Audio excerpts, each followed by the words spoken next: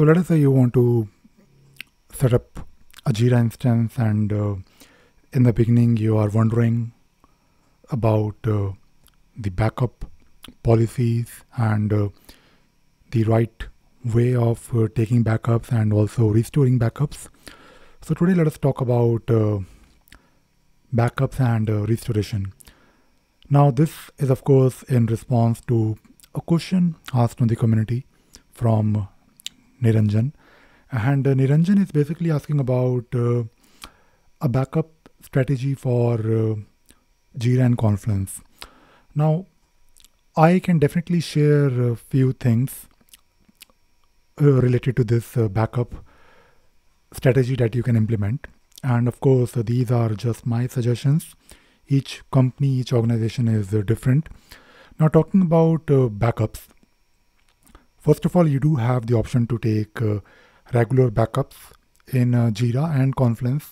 Those backups are XML backups, and those backups normally work fine, but uh, Atlassian doesn't really recommend XML backups as a reliable as a reliable way to um, to basically take backups. And uh, in my experience, I would say 99.9% of the times those backups work fine.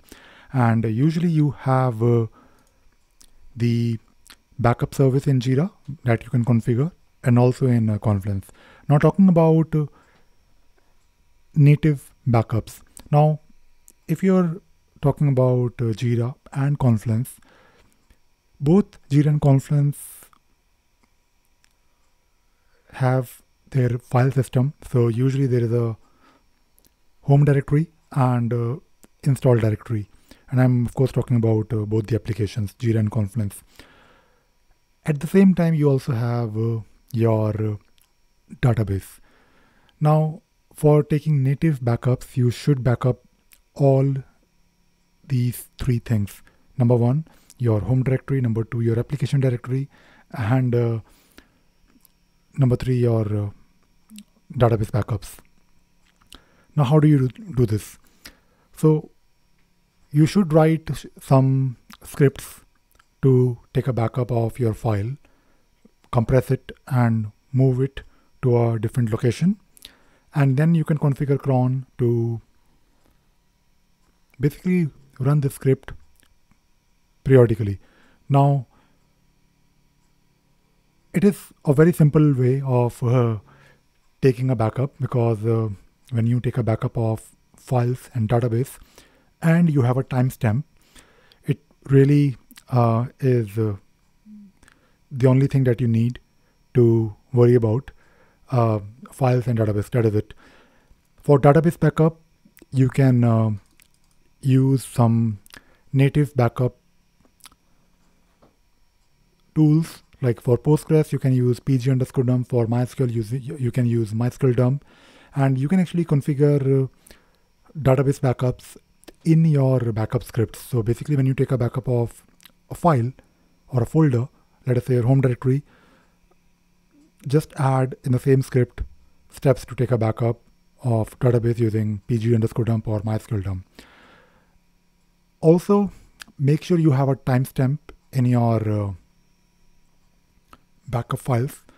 So let us say if the script is running, running 9 a.m. every day or maybe 12 a.m. every day, make sure there is a timestamp so that you know that this backup of home directory, install directory, and uh, database was taken at 12 a.m.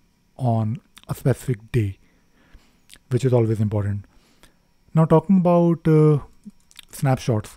So, you can always take a snapshot of the whole machine. Let us say if you are on Azure or AWS, maybe from time to time you can take snapshots, and uh, that is, of course, uh, the simplest thing that you can do.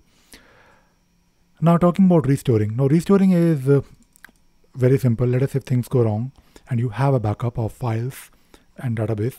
So, just re- restore the files, just restore the home directory, install directory, and database, and uh, that is it. Now, I have shared in this particular post, I have shared uh, links to different uh, pages. So if you if you if you read this page, of course we are talking about Jira. It has all the information about uh, the backups, basically everything that I just talked about in this video. I'm just uh, sharing what Atlassian also recommends. So they are talking about uh, taking a backup of the directories and of course uh, backing up the database. So they also recommend that take a backup of the database using the native tool, database native database tools. Now for taking database backup for Postgres, for example, for a specific version, you can refer to this page. They, they have all the links. Um, I usually prefer taking pg underscore dump all and it, it takes care of all the databases because sometimes you are using, let us say, eazyBI. So you have uh, Jira database, you have also this eazyBI database. So I use dump all and that takes care of everything and I can always restore it. So if, if you read this page, you can always uh, take a look at the exact exact commands.